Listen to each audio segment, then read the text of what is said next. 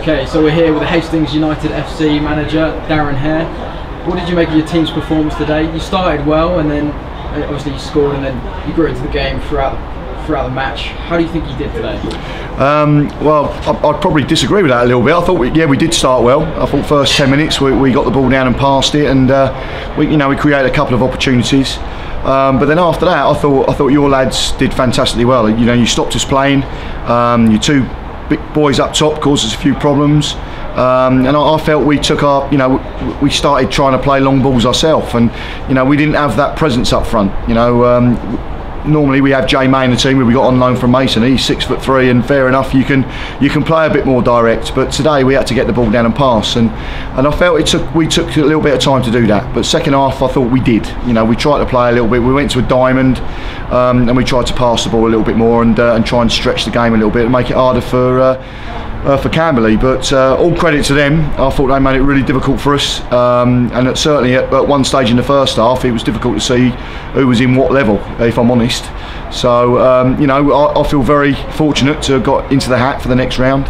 Um, but um, you know, Camberley can walk away with their heads held high because, uh, and be very proud because I thought they uh, they did really well on the day. With that being said, uh, your team today were the more clinical team. You finished your chances. Uh, we yeah. didn't. What did you make of your first goal, the uh, the cross in the head of the back post? Well, you know that was our fullback that scored that, and, and when you play the diamond, um, your fullback's got the opportunity to get forwards. So you know when when you got uh, you know the right side wing or the right midfield player in, in an area to cross, you know sometimes you, your fullbacks can go and take a risk.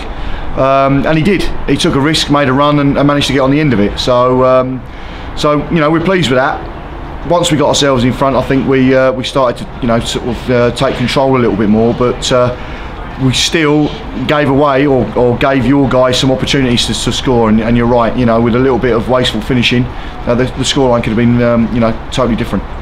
Like you said, with the chances there, I thought your uh, keeper performed excellently today throughout the first half and the second half. Always composed, always clean, yeah. his saves and his decision making.